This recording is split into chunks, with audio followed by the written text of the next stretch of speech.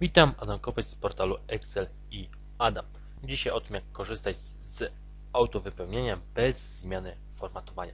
Autowypełnianie to jest taka przydatna funkcjonalność Excela, która pozwala Ci wypełnić cały rząd w tabeli po prostu przeciągając lub Ctrl Z, naciskając tu dwa razy przycisk na krawędzi komórki.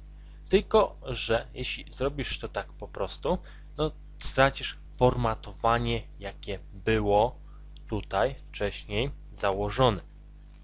I żeby je zachować, masz dwie możliwości. Albo przytrzymasz po najechaniu właśnie tutaj na róg, przytrzymasz prawy przycisk myszy, przeciągniesz tutaj na dół, puścisz i wtedy otworzy Ci się takie podręczne menu. No i teraz wystarczy wybrać wypełnij bez formatowania i zostało tutaj wypełnione. No dobrze, ale to takie przeciąganie to jest dłuższa sprawa. Jest ta opcja z podwójnym kliknięciem, czyli dwa razy klikasz, no i tu wypełniło się, zamieniło formatowanie. Ale tu na dole jest taka ikonka, z której możesz rozwinąć takie podręczne menu.